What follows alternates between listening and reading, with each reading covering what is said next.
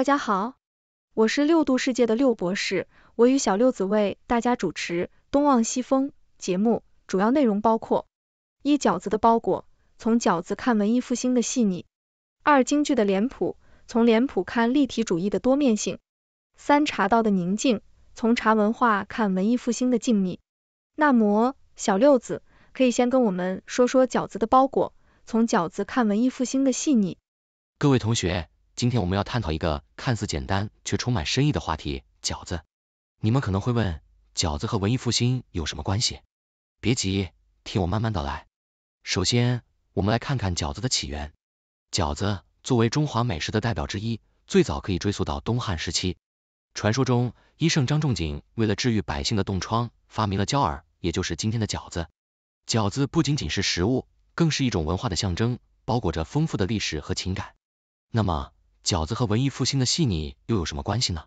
文艺复兴时期，欧洲的艺术家和学者们追求细腻的表现和对人性的深刻理解。其实，饺子的制作过程也充满了这种细腻和对人性的关怀。首先，饺子的皮和馅就像文艺复兴时期的绘画和雕塑一样，需要精心制作。饺子皮要擀得薄而均匀。馅料要调的鲜美可口，这就像达芬奇在《蒙娜丽莎》中对光影和细节的处理一样，需要极高的技巧和耐心。其次，包饺子的过程也充满了艺术性，每一个饺子的形状都各有不同，就像文艺复兴时期的艺术作品，每一件都是独一无二的。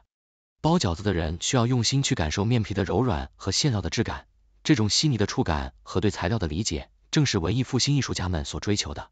再者，饺子作为一种家庭聚会的象征。也体现了文艺复兴时期对人际关系和家庭纽带的重视。文艺复兴不仅仅是艺术的复兴，更是人文精神的复兴。饺子在中国文化中象征着团圆和幸福。每逢春节等重要节日，家人们围坐在一起包饺子，这种温馨的场景正是对人性和家庭的礼赞。最后，我们不能忽视饺子的多样性。就像文艺复兴时期的艺术作品风格多样，饺子的种类也是五花八门。无论是北方的猪肉大葱饺子，还是南方的虾仁韭菜饺子，每一种饺子都有其独特的风味和制作方法。这种多样性和包容性，正是文艺复兴精神的体现。所以，饺子不仅仅是一种美食，更是一种文化的象征，包裹着历史、艺术和人性的细腻。通过饺子，我们可以感受到文艺复兴时期那种对细节的追求和对人性的关怀。好了，同学们，下次吃饺子的时候，不妨想一想它背后的文化和历史。说不定你会发现更多有趣的故事。记住，饺子不仅仅是美味的食物，更是文化的艺术品。希望你们在享受美食的同时，也能感受到其中的文化韵味。谢谢大家。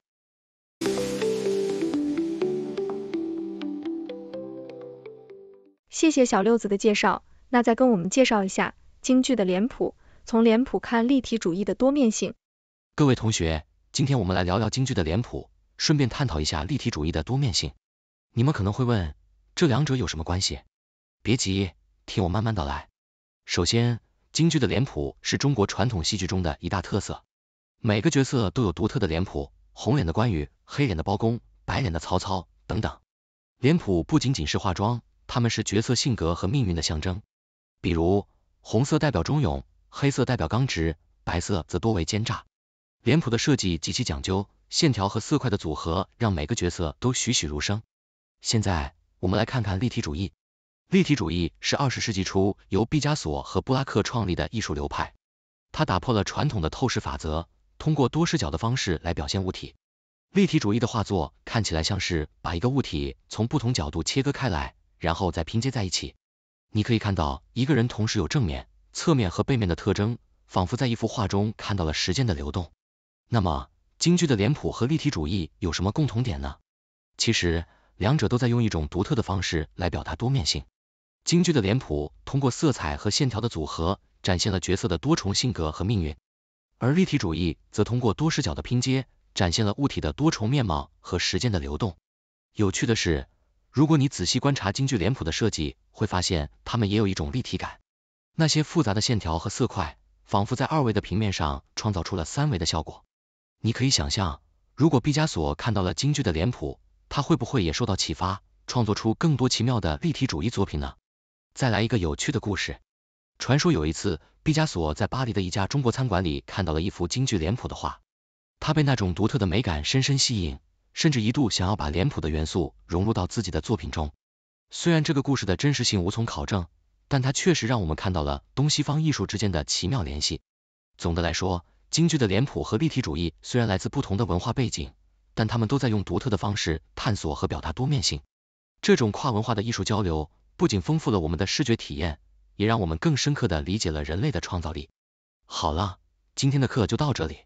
希望你们在欣赏京剧和立体主义作品时，能看到更多的联系和美妙之处。下课。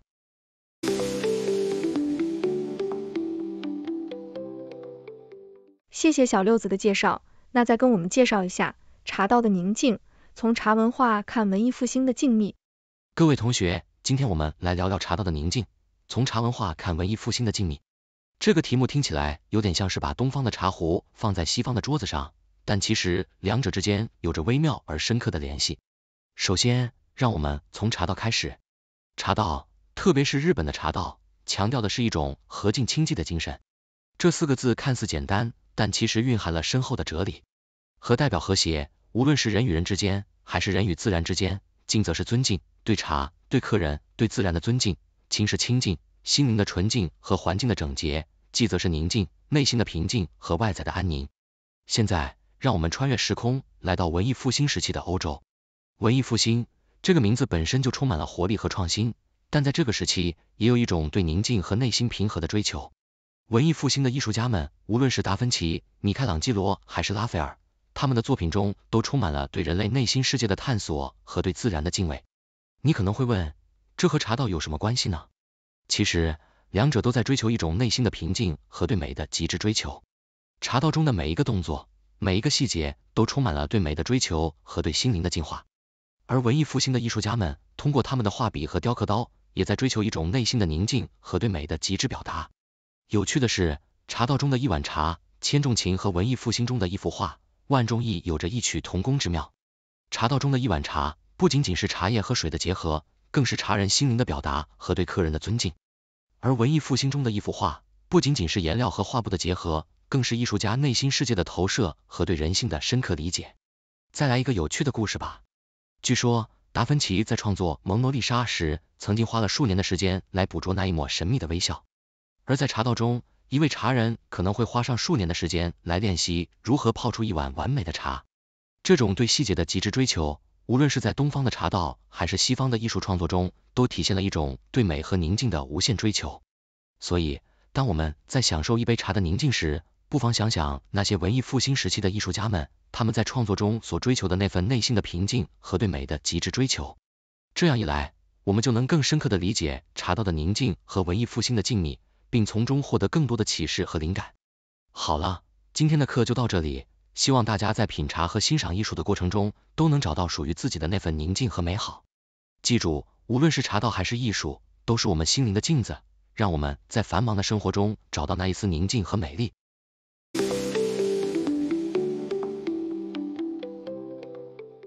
各位同学，感谢你们的聆听。今天我们从饺子、脸谱到茶道。漫游了一番跨越时空的文化之旅，希望你们不仅享受了这场文化盛宴，还能从中获得一些新的启示和灵感。通过饺子的细腻工艺，我们看到了文艺复兴时期对细节和人性的追求；通过京剧的脸谱，我们理解了立体主义的多面性和艺术表达的多样性；通过茶道的宁静，我们感受到了文艺复兴艺术家们在创作中的那份内心平静和对美的极致追求。每一道美食，每一个艺术作品，每一杯清茶，背后都蕴藏着丰厚的文化和历史。它们不仅仅是表象的存在，更是人类智慧和情感的结晶。希望大家在今后的生活中多一些对细节的关注和对文化的思考。最后，欢迎大家参与我们的讨论，你们有什么样的想法？有什么想要分享的故事或问题吗？我期待听到你们的声音。谢谢大家，再见。谢谢大家收看六度穿越系列节目。这个节目由媒体专业人士、科学家、工程技术人员编纂、设计、制作。但是这些内容并非用于做出决策或法律裁定的基础。欢迎在节目留言区发表您的见解，纠正节目可能存在的错误。谢谢大家收看，欢迎订阅我们的频道，给我们节目点赞。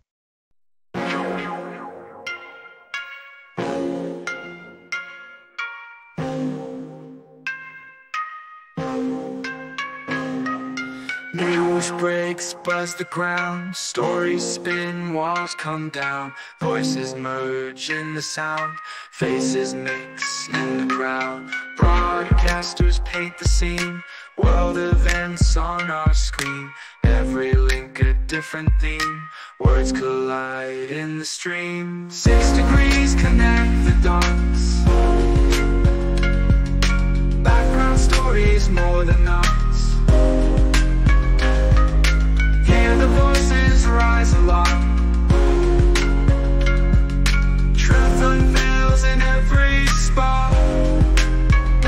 Cultures clash across the globe. Spin the threads in a strobe. Every story wears a robe. Truth and lies in their code. Journalists dig real deep. Secrets out, they don't sleep. News, we take a leap. New perspectives day by day. Hidden truths come to play. In the background, shades of gray.